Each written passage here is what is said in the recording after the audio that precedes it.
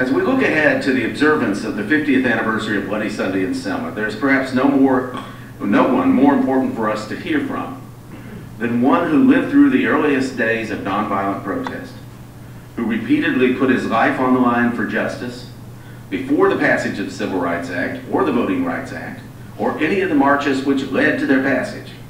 A man then who went on to become an extraordinarily successful businessman, a general, a generous philanthropist, and an inspirational speaker and leader. Hank Thomas was born in 1941. He is an American civil rights activist and businessman and grew up in St. Augustine, Florida.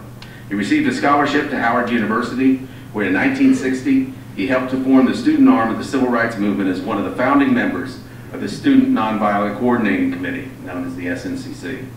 In 1961, he became one of the first freedom riders who rode buses to and in the South to test the South's refusal to obey rulings, making it illegal, the long-standing practice of segregating public buses. Hank Thomas's story is one of success by a man who is one of this country's civil rights foot soldiers. It is the story of a man who was sent to jail 22 times in a fight for civil rights.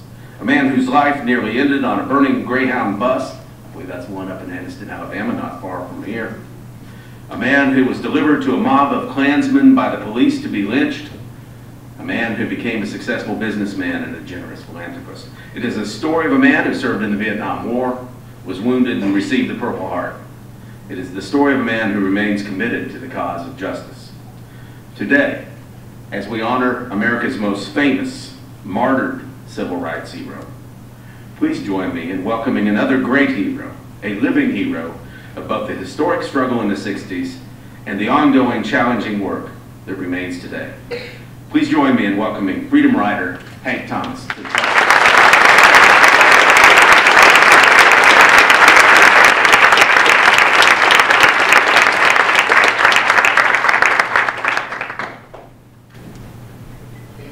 Good morning. Thank you Dr. Mac Alexander for that very generous introduction. I think that the people at General Foods uh, or Folgers Company may have gotten it wrong when they coined the jingle that the best thing about waking up is Folgers in your cup when you're 74 years old, the best thing about waking up is waking up.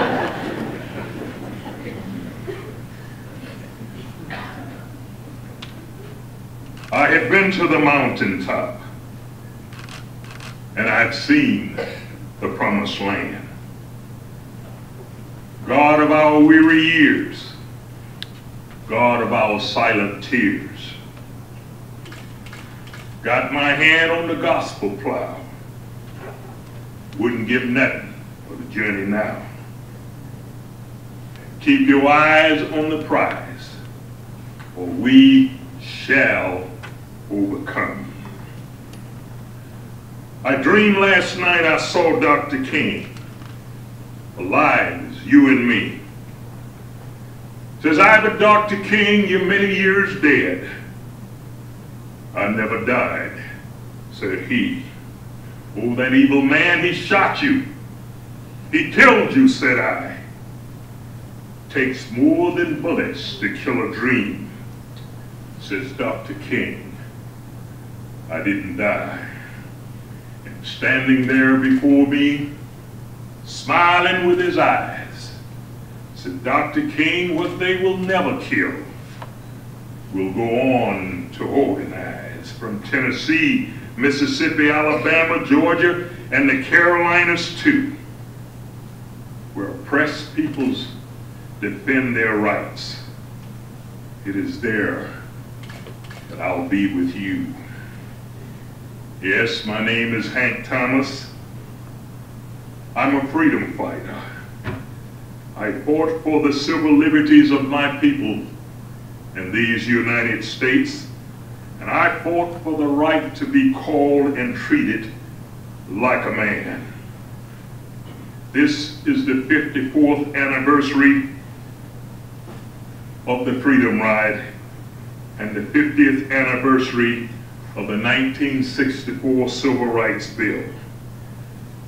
And that causes me to review even more some of our history and how we came to be, and certainly how the African American students came to be in this room today. The civil rights movement changed America. It opened up freedom for waves of people who were disenfranchised by pushing on the gates of freedom and, the, and on the race issue. This movement liberated all groups of people, crossing all racial lines, sexual and gender lines. Dr. King said it best when he stated that this movement proved that the race issue is both at the heart and the promise of this great nation. I'm one of the 13 original Freedom Riders, and I have known rivers. I have known rivers as ancient as the world and older than the flow of human blood in human veins. And my soul has grown deep like the rivers. Various events of late, verdicts and recent trials, lacks of indictments, laws that have limited voting rights, and immigration rhetoric, workers' rights issues, and sometimes more aggressive recruitment by the KKK. All of these things re reaffirms for us that we have come today a long ways in this country, but not quite all the way. The struggle for all men and women to exercise rights inherent in the U.S. Constitution and the Declaration of Independence, or the rights to life, liberty, and the pursuit of happiness, regardless of one's race, sex, or sexual preferences and the absence of living in fear, not being misunderstood or mislabeled. The right to wear a hoodie or to listen to loud rap music and not be labeled a gangster and be killed because somebody thought that you may have a gun the struggles for diverse people for full citizenship and treatment sadly sometimes remain an elusive dream for some of us. And sadder still knowing that the right for freedom has neither a beginning or an end. That it is as much an evolution as it is a revolution the civil rights movement brought about many changes to unjust laws. Yesterday, we fought for the right to vote.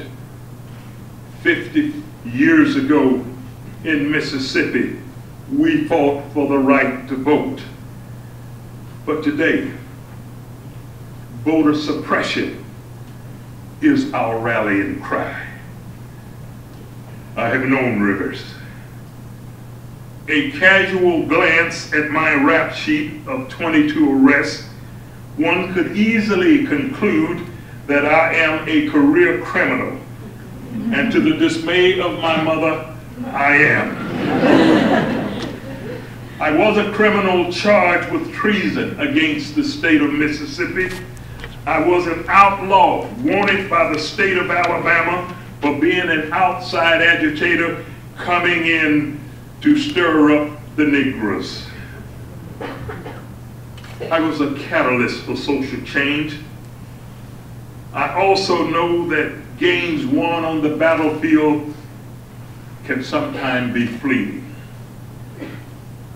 We all know that freedoms that are hard won can sometimes be lost. And each generation must continue the fight lest we lose some of the ground that we have gained. I am in my 74th year and I am proud of my generation and the role that it played in changing this country, especially changing or discharging bad laws, unjust laws, the unjust laws of segregation and racial discrimination. The stand your ground law is a bad law and it must be overturned. That is a bad law.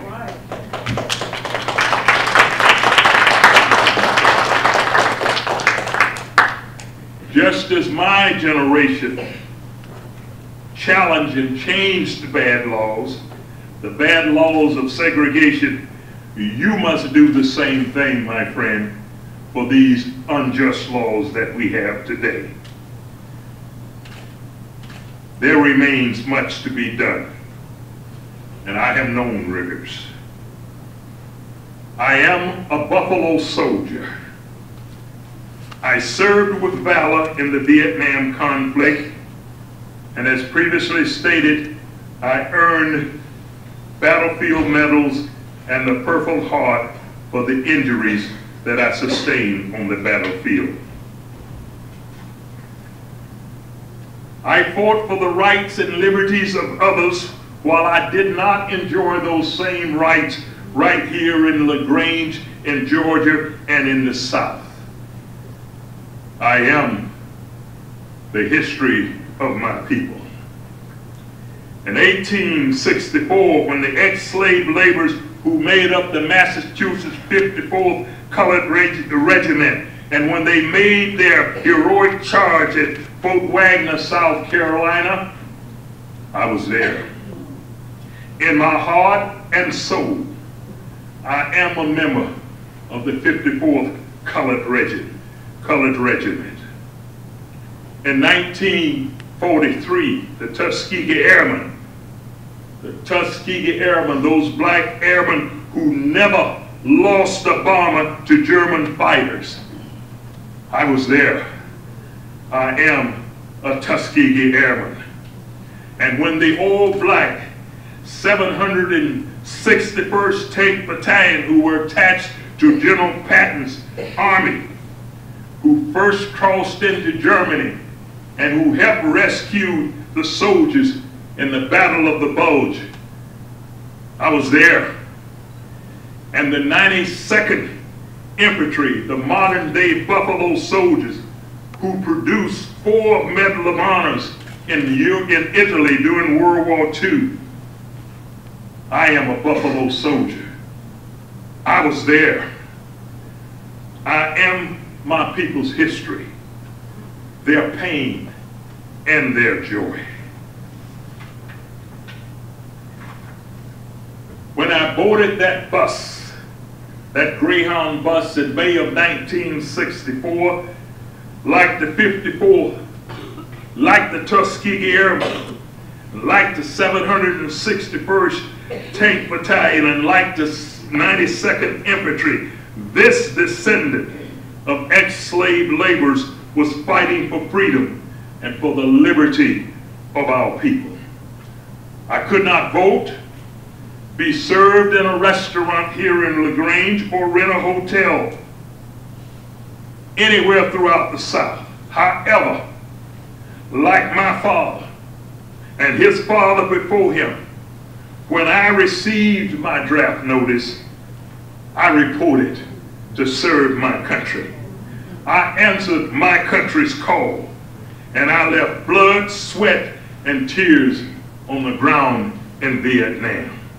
And those tears were for my three medics who were killed there, 18 and 19 years old, and two, the 18-year-old medics were killed on the same day. But that was then. And this is now. And the world has turned over many times in my 74 years. I have traveled far and wide. Yes, the country has changed. My, my, how it has changed. Today,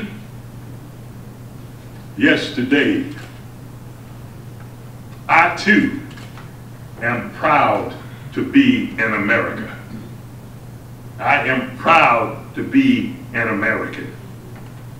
And I have never been more proud of my country than that night in 2008. I spent the first 20 years of my living, of my life living under the apartheid system in this country called segregation. But today, but today, Lord, oh Lord, stony the road we have trod, and bitter has been that chastening rod. And it was felt in the days when hope yet unborn had died. But with a steady beat, did not our weary feet bring us to 1600 Pennsylvania Avenue, where Barack and Michelle Obama just reside.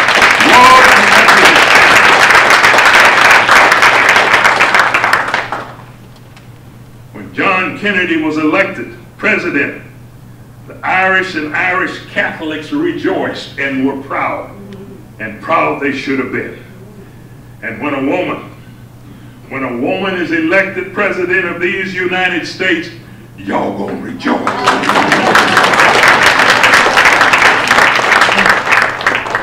One day in the future, a Jew or a Hispanic will be president of these United States. And I pray that no one will question their citizenship or their religion or ask to see their birth certificate or that they or Mexico City. Are you hearing me, Donald Trump? In my lifetime, I have voted for Kennedy, Johnson, Nixon, and Reagan. I have voted for Carter, Bush 1 and 2, and I voted for Clinton. But I am proudest. Don't hold it against me now. I am proudest to have voted for a man who looks like me, Barack Hussein Obama. I am proud that my country elected a man of that diverse parentage to be president.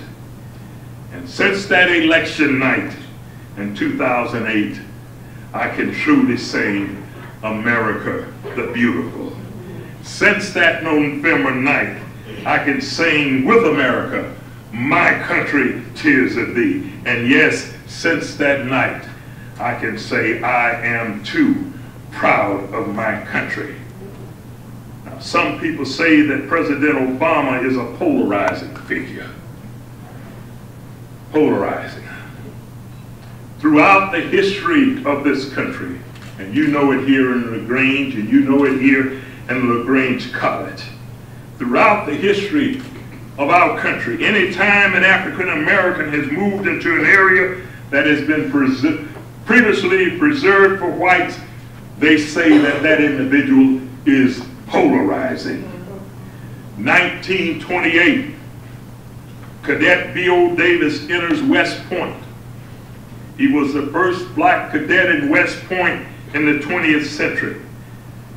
When it happened, the majority race cadets all took a vow, an oath, that no one would speak to him during the entire time that he was there, and history records that to a man they kept their word.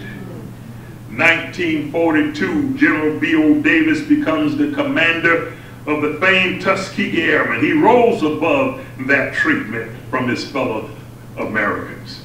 But while he was there, they said that he was a polarizing figure. 1947, Jackie Robinson integrates Major League Baseball and he catches hell from all of the white players. They cheered and they hoped that he would fail.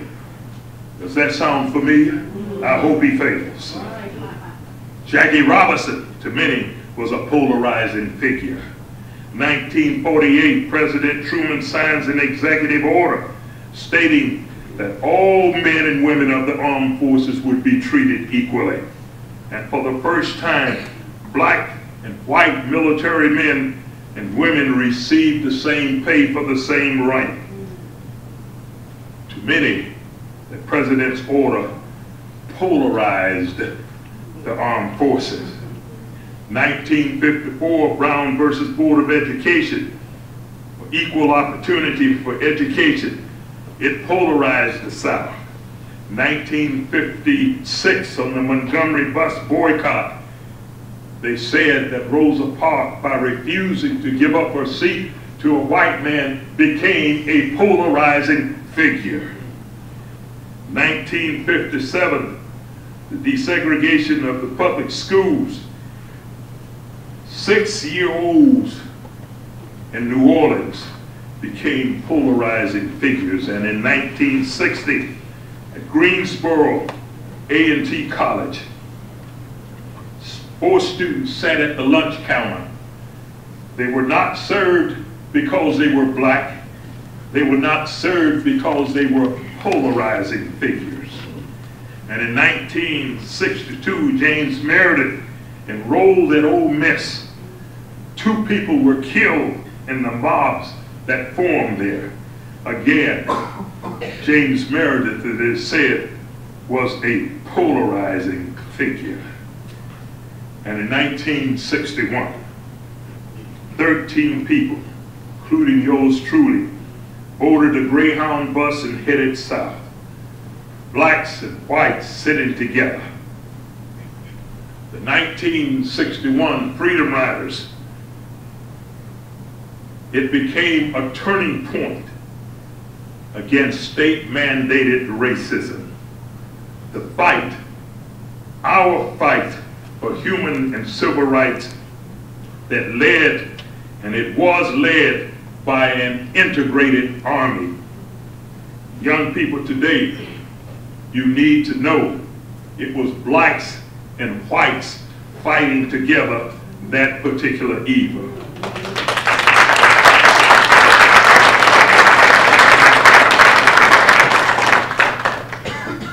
1964, Mississippi Freedom Summer. In Mississippi in 1964, 90% of all of the blacks who were eligible to vote in Mississippi could not vote. Medgar Evers was a decorated Army vet. When he came back to Mississippi, he was not allowed to vote and he was assassinated because of his efforts to exercise the freedoms that he fought to give Europeans.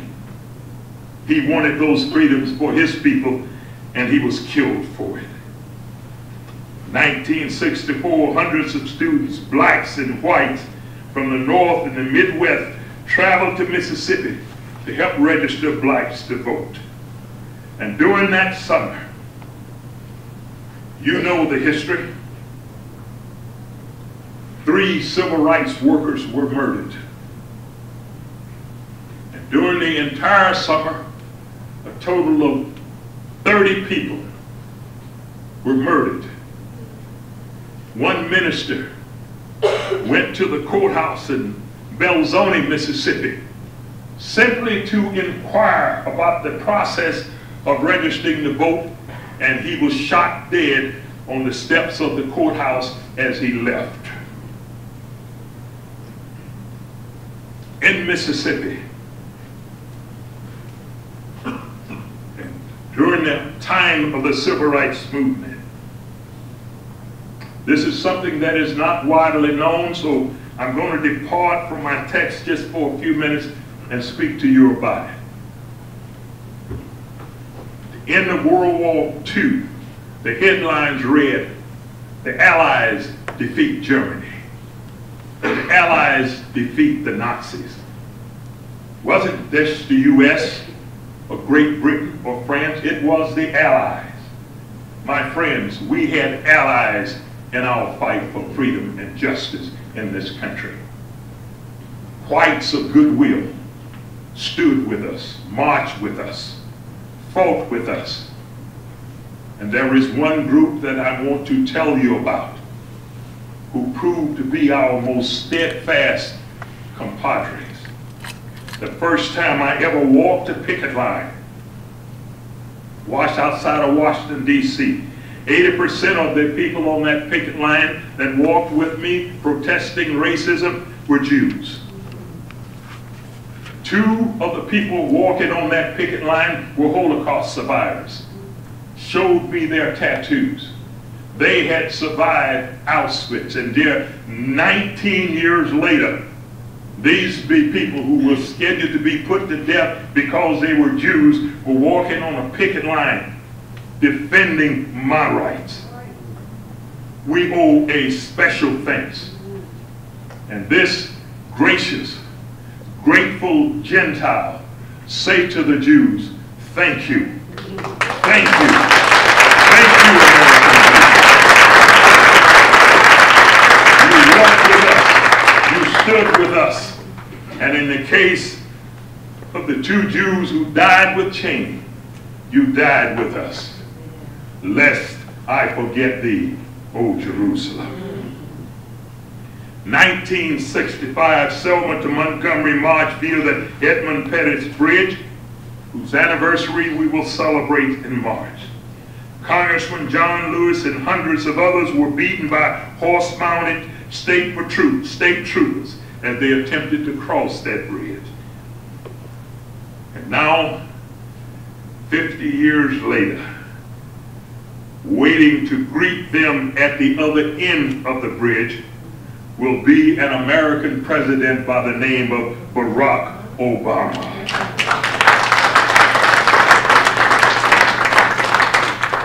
Yes, I've seen rivers, and my soul has grown deep like those rivers. And let me apologize to you, lest I sound a little bit jingoistic, Today, you and I live in a wonderful country.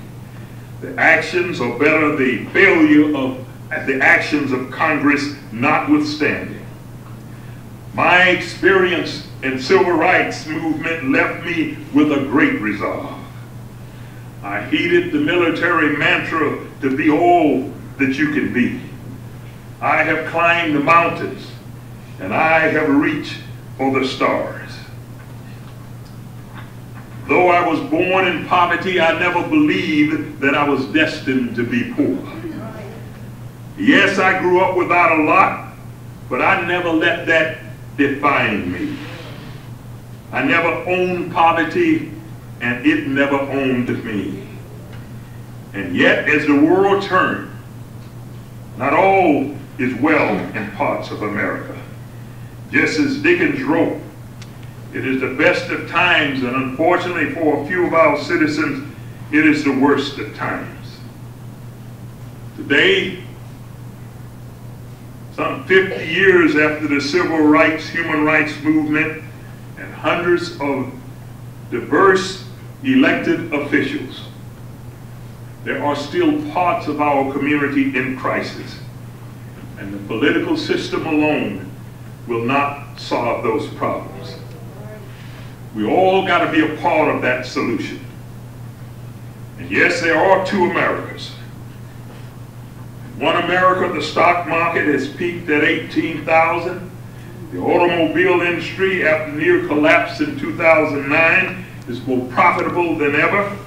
Job creation in the last four years has exceeded that of 10 years. And home ownership of people of color has increased even though some have gone through the mortgage crisis. And notwithstanding all of this, the high times that we, many of us, enjoy. In another part of America, children go to bed undernourished. The high school dropout rates are escalating for people of color. Too many African American males populate our jails and prisons working and professional class people have lost jobs and lost homes. And unfortunately, too many have lost hope. And the widening gap between the haves and the have-nots. We believe this country is better than this. Today, the world over, people understand that the USA is the land of opportunity. Get to the USA and your dreams will come true. You and I live in a country that was built by and continued to be propelled by the energies and talents of her first and second generation of immigrants. With many dangers, toils, and snares, I have already come. And like the immigrants from the West Indies and Africa, I too have come to the new America. And I have made my dreams come true. And I hope you will too. Whether from Asia, Europe, South or Central America, or Africa, people risk their lives to get here. You are already here. What will your legacy be? We have a charge to keep, a God to glorify. We must protect the rights of all people, whether they are people of color, women, diverse sexual orientation, or religion. We must protect the rights of all people. In the words of Dr. King, now is the time to make justice a reality for all of God's children. For it would be fatal for the nation to overlook the urgency of now to serve the present age. Mother's Day 1961 will live in infamy in my mind. Seven black, six white freedom riders, along with 11 other unsuspected passengers, were almost murdered by the terrorist group called the KKK in Anniston, Alabama. But just days before that, I was arrested in Winnsboro, South Carolina for attempting to use the, quote, whites only restroom. I was taken to jail, and later that evening, the police took me out of jail and delivered me to a waiting Klan mob. As we neared the closed bus station that night, and the police stopped maybe a block away from the station, and they said, you can go now. And I looked at that mob of men, and I saw no lights at the bus station, and I said, the bus station is closed. And when will the next bus come? He said, we don't know. I said, well, you can't put me out here. These people will, will beat me up. There were three police officers. Two were in the front seat, and one was in the back seat with me. He put his hand on his gun and said, get out of this car. And I said, you can't, you can't put me out here. He said, you get out of this car or I will blow your brains out. In a few seconds, I had to make a quick decision. I believed that police officer would have done that. I thought if I got out, I had a halfway decent chance of outrunning that mob. But where was I going to run? So I remember the lines of a joke that was told many, many years ago. When I got out of that car, I said, feet, don't fail me now. I'm here to tell you that Usain Bolt couldn't have caught me. but where was I going to run? I was in pretty good athletic shape, but where was I going to run? So I started running. And I don't know if I said a prayer at that particular time. But years later, I remember the refrain from a song that stated, the Lord may not come when you want him to, but he'll come when you need him. And at that moment, a man drove up beside me as I was running. He said, son, jump in this car and get down on the floor and don't get up. This man was an African American who was a veteran of World War II who had been paralyzed by a German bullet. And I got in that car expecting to hear the bullets coming through the back window at any time. That is how I escaped from Winnsboro, South Carolina. Later on this year, in a few, thank you.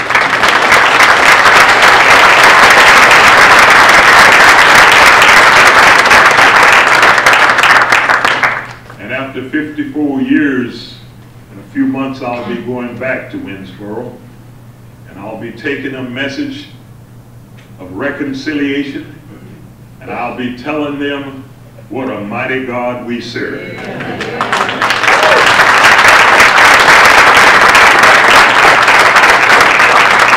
I will not go back to Winnsboro with malice or any maliciousness in my heart. But I'd like to meet some of those men and just say, the Lord has blessed me and I hope he has blessed you too.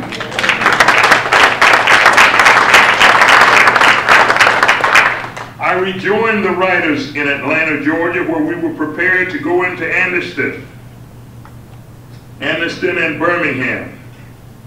But two of those riders were not able to continue with us. James Peck and John Lewis, they had been severely beaten in Rock Hill, South Carolina, and they were unable to continue. Dr. King and other veteran civil rights activists tried to dissuade us from going into Anniston and Birmingham because they knew of the viciousness and the hatred that existed in those places. But we were dreamers and we were daring. So we rode into the eye of the tiger, into the cities noted for its hotbed of Klan activity. As we rode into Anniston, the streets were deserted.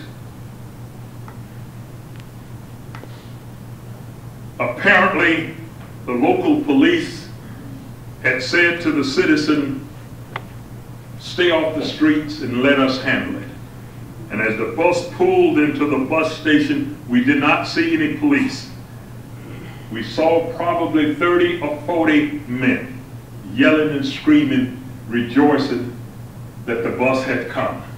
And the bus driver, I'm sure fearing for his life, knew he needed to get off of that bus and he opened the door and he said, fellas, listen, all I did was to drive the bus and I brought him to you. But he saved us because before he got off the bus, he fixed the door so it could only be opened from the inside. So he saved us because the crowd couldn't get on the bus. They started breaking out the windows, lead pipes, baseball bats. We were probably only there for about a half an hour. Obviously, we were very afraid and just about every window had been broken, but they still could not get aboard the bus. We learned later on that somebody had called Robert Kennedy in the Justice Department and he prevailed upon the president of Greyhound because none of the bus drivers would drive us drive the bus out. And so a bus driver came aboard. And as he tried to drive away, about three pickup trucks were in front of the bus so that he could only drive maybe 10, 15 miles an hour.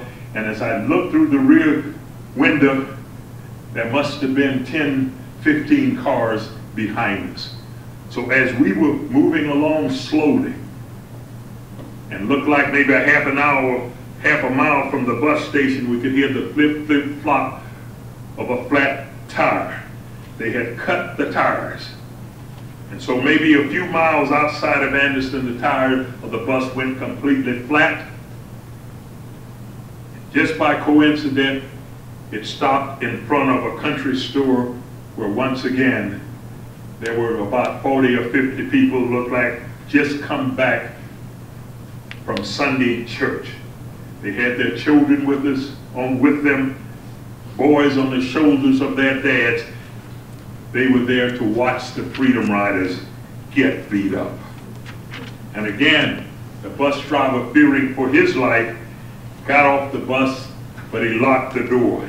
And when the mob finished breaking out the remainder of the doors and they still could not get aboard, that's when they set the bus afire.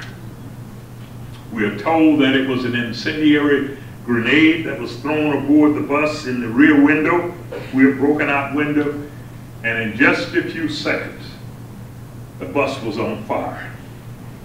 One of the Freedom Riders, who was a retired military man, said, get down on the floor. That is the only place you can find some air. And so we did. But that only lasted for a matter of seconds. And now the bus is completely filled up with smoke. I could hear them outside. I knew if I went outside, I would surely be killed by that mob. But if I stayed on that bus, within a matter of minutes, either the smoke is going to kill me or the flames from the bus. At the age of 19, I had to make a decision on how I was going to die on that particular day. And ladies and gentlemen, on that particular day, I decided to commit suicide. I thought that if I breathed in that toxic smoke, took a deep breath of that toxic smoke, it would put me to sleep, and that was the way I was going to die. But when you breathe in toxic smoke, it is suffocating. And no matter what your plans were, you fight to get some air. So as I got up and I made the dash toward the door and the folks behind me began to follow the people outside. So say, hey, they're trying to get out. They're trying to get out. Let's burn them niggas alive. He rushed up to the door, I think it was three men, and they held the door. So I couldn't open the door. As hard as I pushed and knocked against that, I could not open the door. And it's only going to be a few more seconds before I would be over, all of us would be overcome with, with uh, from the smoke. God Almighty, once again, he must have been looking down and he told his angel, my children are in trouble. We got to do something. And at that moment, the flames that started in the back reached the fuel tank. And they, it blew out the fuel tank in the back and everybody outside ran. That was the way we were able to get out of it.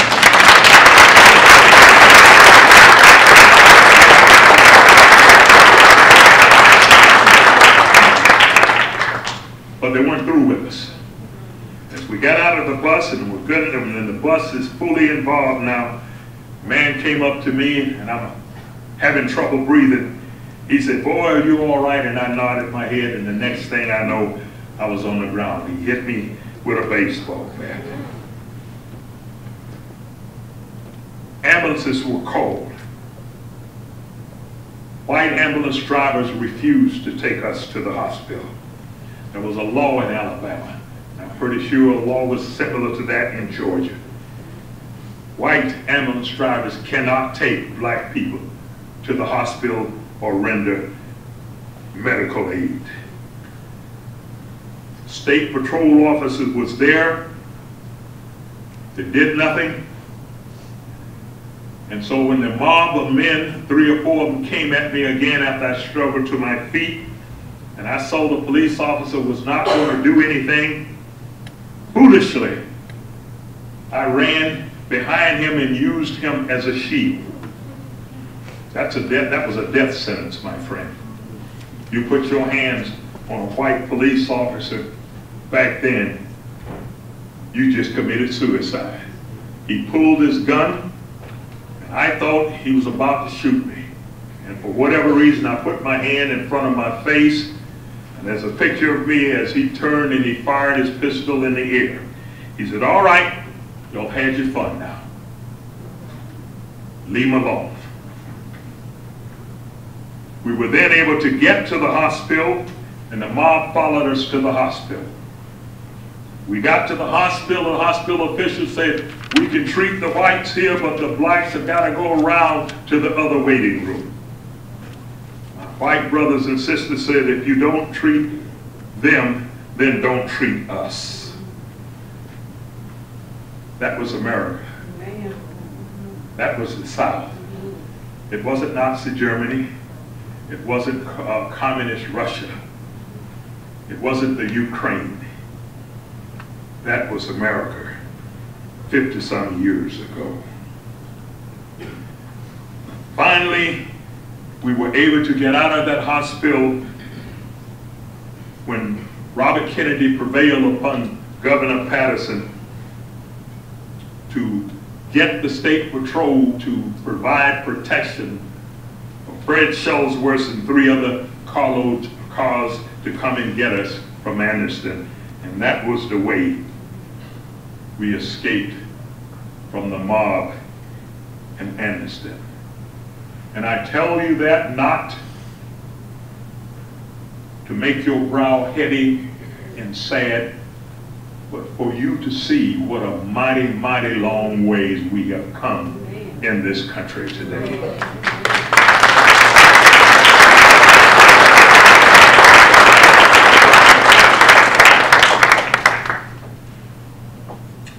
When I boarded that bus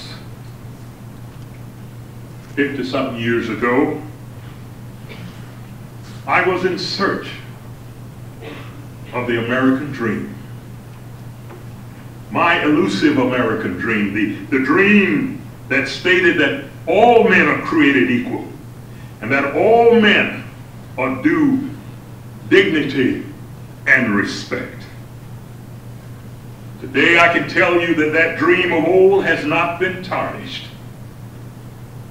It has lost neither tone nor tint. And it stands a glimmering through the veils of yesteryear. That dream, it waxes a wondrous beauty, one that has been coaxed by smiles and watered by the tears of joy and triumph. Again, of the 13 original Freedom Riders, only three of us are still alive today. I have attended many funerals, and I have raised my glasses to their memories. For memories are all that I have left of them now. And memories, they don't leave like people do. They always stay with you. It is in the evening of my memories that I visit some familiar places. Anniston, Birmingham, Montgomery, Selma, Lord, Lord Selma. And always my memories take me back to my hometown of St. Augustine and to the prison farm of Jackson, Mississippi. And sometimes I listen vainly and I hear some of the refrains from some of those old freedom songs, the music of my youth. Ain't gonna let nobody turn me around.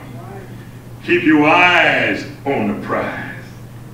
And the song that has become the music of hope of oppressed peoples throughout the world, we shall overcome. 1961. I was in the springtime of my life. My music was still in me, and my song was yet to be sung. Yesterday, yesterday, I was young. The taste of life was as sweet as honey upon my tongue. But today, today, I am a man in full. I'm a man who is deep in the order of his years. And today, my steps are slowed. They are illuminated by the dimming light of my approaching sunset. I know my twilight is here because I see the lengthening of my evening shadow. The thousand dreams I dream, the splendid things I plan. I run so fast that time and youth for me is running out. So when it comes, my friends, when it comes time for me to meet my day, and when I have to cross that river, and I must go dance with my ancestors of the Middle Passage, when I am summoned to come before the village elders to give accounts of my time here on earth, I will recite for them Second Timothy. I will tell them I fought the good fight, that I completed my course, and I kept the faith. And when they asked me, why and for what reasons was I arrested some 22 times? And when they asked me why and for what reason that I was sentenced to six months in the Mississippi State Penitentiary, and during that time put in solitary confinement two different times. And when they asked me, why did I do all of this? I will tell them, and speaking in the vernacular the bucolic vernacular of my great grandfather. I simply say to him, I seen something wrong and I've done something about it. Thank you.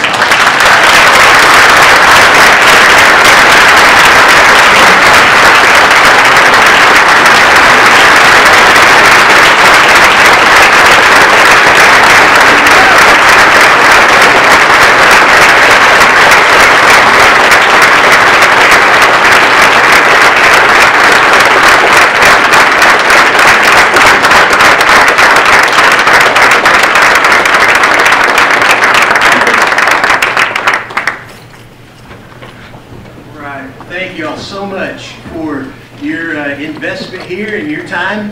Um, I, I know it's uh, it's lunchtime, right? Your stomachs are talking to you. I have no doubt about that. Um, some of you who have been willing to stand, your feet may be talking to you in a little bit, but we do have Mr. Thomas here, and he really has shared with me that he looks forward to the opportunity to have an exchange with you and to answer any questions. So why don't we take just a just a few minutes and have maybe two, maybe three questions um, that any of you would like to ask him and, and have his response. We have a microphone on this side. I'm going to move this one over as well. So if you come to the microphone, ask your question so everybody can hear. That requires another degree of bravery.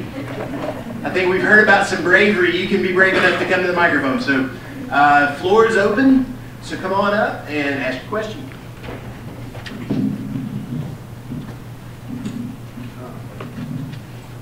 Uh, Good evening or good morning, everyone. um, I guess my question is, how do you think that, or why do you think that the mindset of what was then the time that you grew up in, and even that how did it last and survive to even now? Because we still witness some of the stuff that you witnessed when you were growing up. So, like, how do you, or why do you feel like that mindset is still surviving? As a young person, I want you to understand, and for all of you, this is a much different country than what it was 50 years ago. Have we really re- uh, erased all prejudice in the minds of folks, all racism? No. A German today can, I mean, a Jew today can go to Germany. They're not going to put him on a train east to a concentration camp. But is there anti-Semitism in Germany still today? Yes, there is. There's anti-Semitism in France today? Yes, there is. And there are still, we've come a long ways, but we haven't gotten, we still have a little bit to go. So there is still some problems that we have today as evident by some of the events in the last uh, uh, few months. But the country has changed. And it's going to be up to you and to you to continue to make it change and evolve. Okay? Thank you.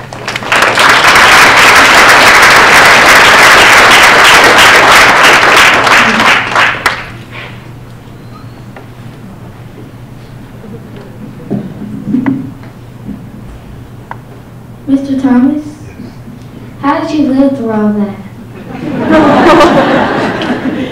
Well, I was on that burning bus and I used to be light skinned? By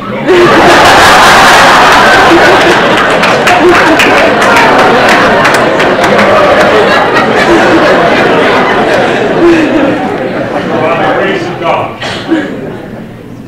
And also, there were white people of goodwill.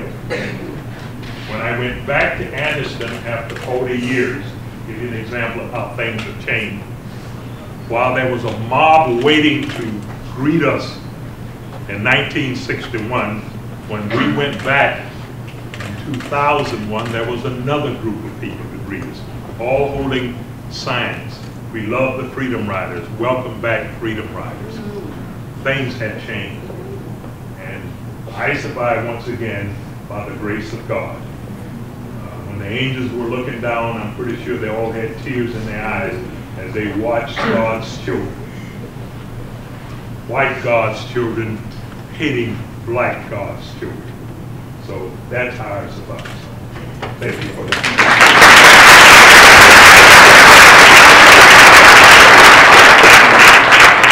Um, hi. Um, I'm not from LaGrange, and so coming here to school was a huge culture shock for me.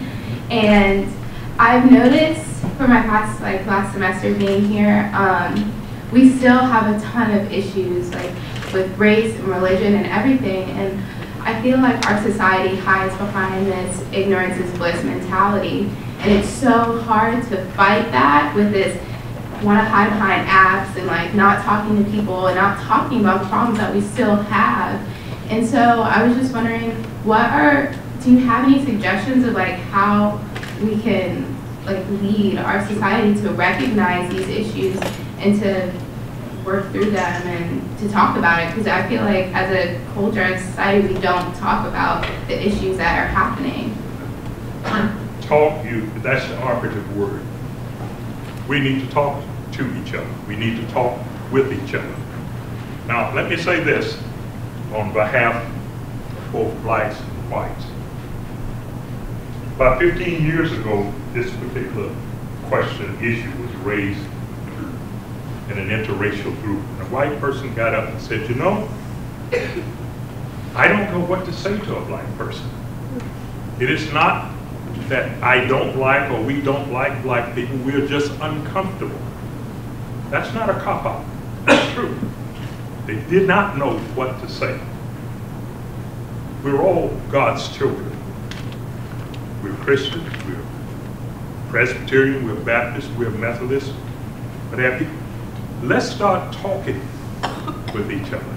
I've noticed this, this is a little experiment, not experiment, but this is something that happened with me.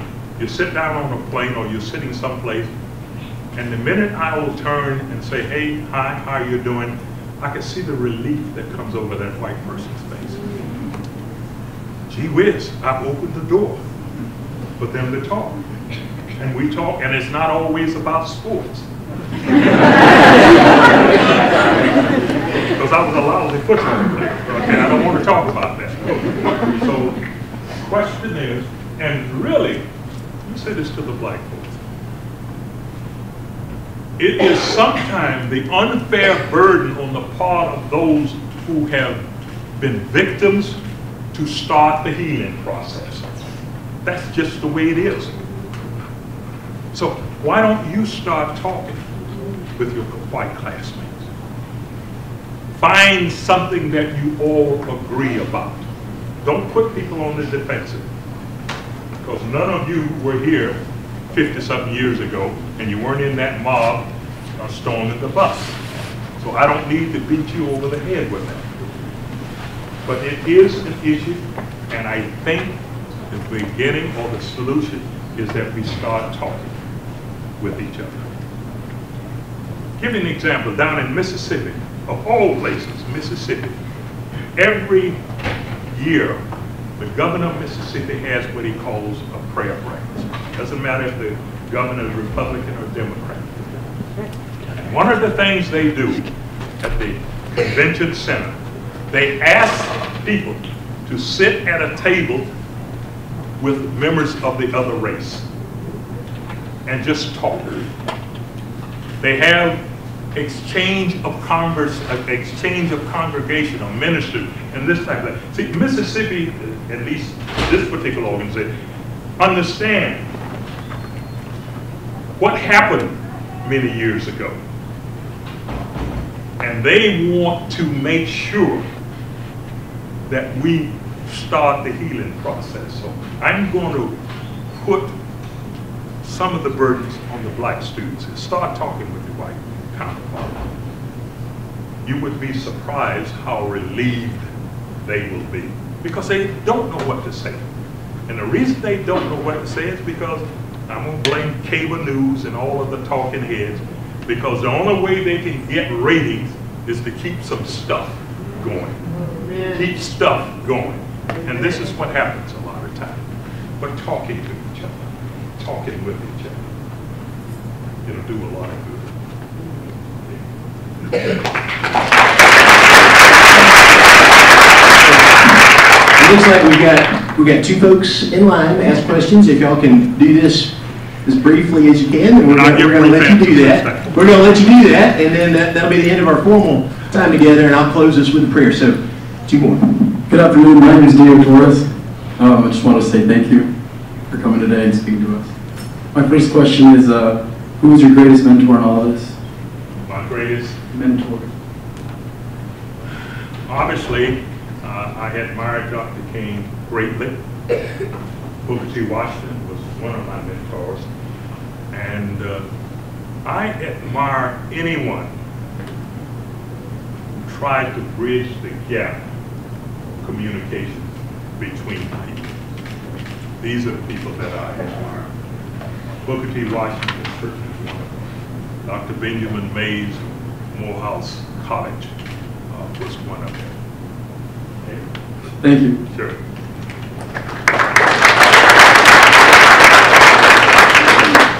Hi, good afternoon. Thank you for your speech. It was absolutely amazing.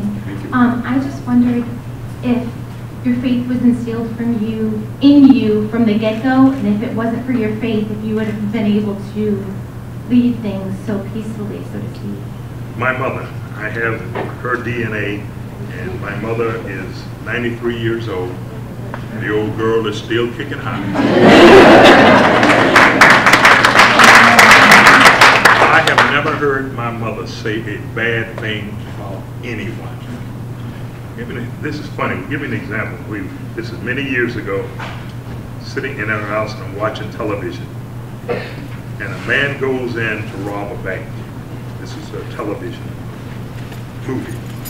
And she says, oh, I wish he would take that money back. He, he shouldn't have, if he'll just take them, I said, mother, it's a movie. I know, but he just should take the money back and, and everything will be all right. My mother is the eternal optimist and she believes that every one of God's children is capable of doing something good. She doesn't hold grudges. And I've shared with some people that sometimes I get angry with myself because I have that same gene in me. Sometimes I, I want to get mad and I want to, you know, I want, I want revenge and this type of thing, but it can't happen. I can't do that. It's my mother. Okay?